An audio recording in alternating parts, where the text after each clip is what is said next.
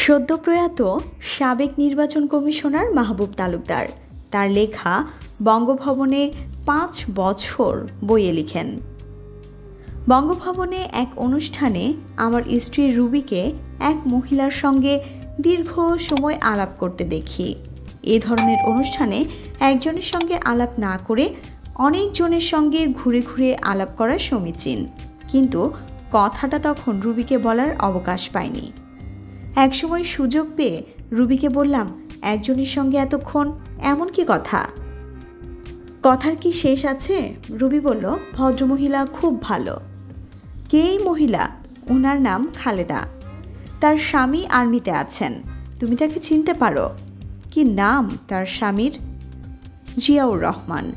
মুক্তিযুদ্ধের সময় মেজর জিয়া নামে রেডিওতে স্বাধীনতার ঘোষণা দিয়েছিলেন। বললাম, চিনি। একবার তার সঙ্গে আমার আলাপ পরিচয় হয়েছে, তবে তিনি একটু রিজার্ভ প্রকৃতির, বেশি কথা বলেন না। এর আগে কর্নেল জিয়াউর রহমানকে কখনো বঙ্গভবনে বা কখনো বঙ্গভবনের বাইরে দেখেছি, তার সঙ্গে তেমন কথা হয়নি। পরে একদিন তার সঙ্গে বঙ্গভবনে আলাপ করার সুযোগ পেয়েছিলাম। দুপুরে সামরিক সচিব লেফটেন্যান্ট কর্নেল ফিরোজ সালাউদ্দিনের অফিসে বসে আলোচনা করছি। এমন সময় জিয়াউর রহমান এলেন, ঘরে ঢুকে দরজার পাশে দাঁড়িয়ে সামরিক সচিবকে সেলুট করলেন। বললেন, আসতে পারি, স্যার? আসো, জিয়া, বসো, সামরিক সচিব বললেন। আমার একটা অ্যাপয়েন্টমেন্ট ছিল, কর্নেল জিয়া জানালেন। হ্যাঁ জানি। তবে একজন মন্ত্রী হঠাৎ করে রাষ্ট্রপ্রধানের সাথে সাক্ষাৎ করতে আসছেন, একটু বসতে হবে। কর্নেল সালাউদ্দিন কর্নেল জিয়ার সঙ্গে আমার পরিচয় করিয়ে দিলেন। আমি বললাম ওনার সঙ্গে আমার আগেই পরিচয় হয়েছে। চা খেতে খেতে কিছুক্ষণ কথা হলো। রাষ্ট্রপ্রধানের অফিসের সাংকেতিক বাতি নিচ্ছে না, অর্থাৎ মন্ত্রী মহোদয় বেশি সময় নিচ্ছেন। আমি কথা প্রসঙ্গে মুক্তিযুদ্ধে তৎকালীন মেজর জিয়াউর রহমানের প্রশংসা করলাম। তার মুখে বুঝলাম কথাগুলো তার পছন্দ করেছেন। কিন্তু কোনো রকম উষ্ণতা প্রকাশ করলেন না। কিছুক্ষণ আলাপচারিতার পরে আমি আবার বললাম, আপনাকে একটা কথা বলতে চাই, যদি কিছু মনে না করেন।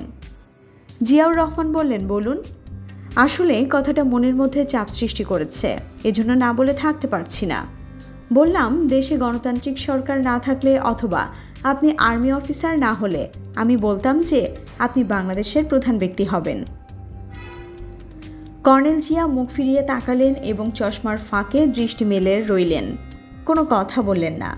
ফিরোজ সালাউদ্দিন বললেন, এই কথা কেমতে কইতাস? ওনাকে দেখে আমার এমনটা মনে হয়েছে, মনের মধ্যে কথাটা ধরে রাখতে পারলাম না।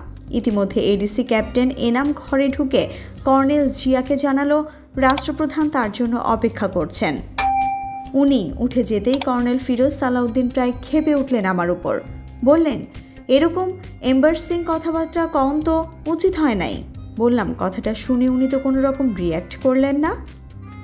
সামরিক সচিব বললেন জিয়ার কথা কইতাছি না। বঙ্গবন্ধুর কানে গেলে কি অবস্থা হইব? ভাইবা দেখো। বঙ্গভবনের দেয়ালেরও কান আছে। কে কখন রিপোর্ট কইরা দিব, তা ঠিক কি? বঙ্গভবনের অফিসার হইয়া লুজটোক করা তোমার উচিত না। কথাটার পেছনে অন্য কোনো কার্যকারণ ছিল না। আমার ইনটুইশন থেকে বলছি। আর কখনো এরকম কইবা না। সামরিক সচিব ঠান্ডা হলেন। কয়েক বছরের মধ্যে মেজর জেনারেল জিয়াউর রহমান বাংলাদেশের রাষ্ট্রপতি হন।